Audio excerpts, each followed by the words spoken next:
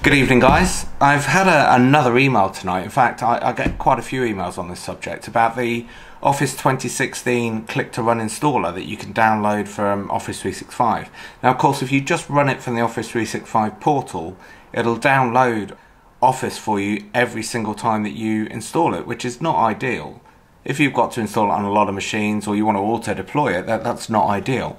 Now, fortunately, there is a way to do it using a click to run installer and the Office deployment tool. For whatever reason, it seems that people seem to have a fair number of problems with this. Now, part of the issue I have with this is usually when I get emails about it, it tells me that it doesn't work, but it rarely gives me any detail as to what's not working. So I thought what we could do is actually have a look at the process from start to finish and I can show you how easy it is. Then, if you do have any problems, drop me a line and I'll see if I can give you a hand. But, but you need to be a little bit more descriptive with actually what your problem is. So let's have a look at it on a, on a fresh build Windows 10 machine. Here we are with our freshly built Windows 10 machine. It's a 64-bit unit. I haven't really done much to it. It may have had Windows Update running on it. So what we're going to do is actually download the Office package first, and then I'll show you how to deploy it.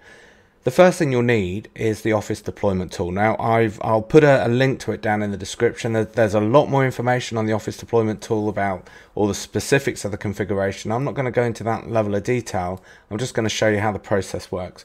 So what I'm going to do is install the ODT, which is here.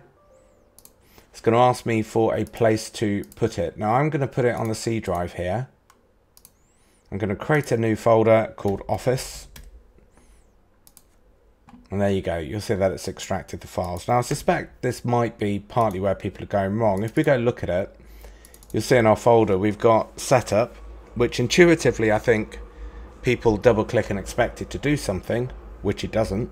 And then there's a couple of XML files. So let's have a look at those XML files. So let's look at the 64-bit one. So what you'll see in here is a sample configuration file for the Office deployment that you want to deploy. Now, I won't go through it in any great detail, but because there's a lot more de detail about it on the, the actual website. But essentially, what you need is this file configured for your deployment environment. You can see in this edition here, we are getting the Office 64-bit version. It's Office 365 plus retail. We're also including Visio in this package as well. And you can see some options down here about the updates enabled uh, and also display level if you want to do that and also the auto activate. Now, bear in mind if you want these to happen, you have to remove the comments piece. So let's do that for updates. I'm not going to do it for the display level and everything like that. So once we've got that, we're going to save it as a file. I'm going to short, uh, call it something a bit simpler. So let's do this basically because I don't want to have to type in that big long file name. So I'm going to save it and I'm just going to call it configure. There we go. Now at this point, we can't really use this. What we need to do is pop into an elevated DOS prompt. There we go. We're going to pop into that Office directory and in there, you'll see that configure, but you'll see that it's got the wrong uh, extension. It's got text. So I'm just going to rename that. So instead of text, it's got the correct XML. Now this is the bit I think that seems to be tripping people up. What you need to do for this package first is download the whole package. And there's a command line to do that. And then there's a separate command line to actually do the implementation. So let's first do the download. Now the command to download is as follows. It's pretty easy we're going to do setup forward slash download, who knew, and then just that name of that XML file that we've just made. So it's configure.xml. Now what that package, what that is going to do is go off and download our Office 365 package. So let's watch it do that.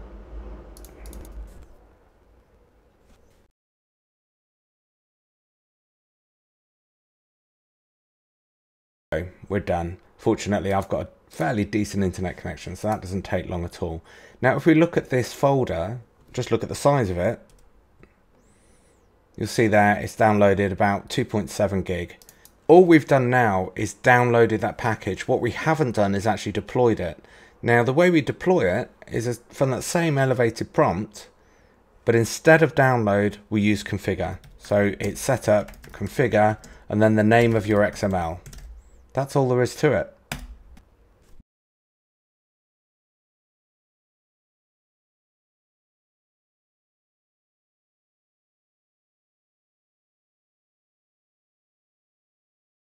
There we go, we're all done.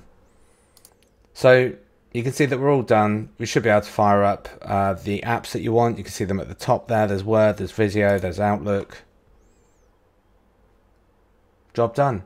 Now there are various options around auto activation, all kinds of stuff in the XML file that you can configure.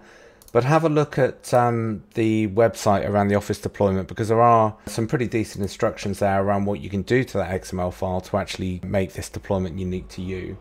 Now, of course, if you want to deploy this to multiple machines, well, this is the package that you need to deploy. Now, obviously, you can get rid of those two example XMLs if you want to. I'll do that. And all you need is that folder the Office deployment tool and your configuration XML. Now, be careful if you start putting uh, paths in the uh, XML because that can cause you issues. Sometimes it doesn't seem to be as reliable for me as, as as leaving the Office deployment tool to work out that it's it's deploying from the current directory, for example. But yeah, okay. So I hope that helped. But if you do run into specific issues, let me know what they are, and I'll be curious to have a look at them because like I say, I, have used this a ton of times and it, it's a great utility uh, and makes creating little installer packages so much easier.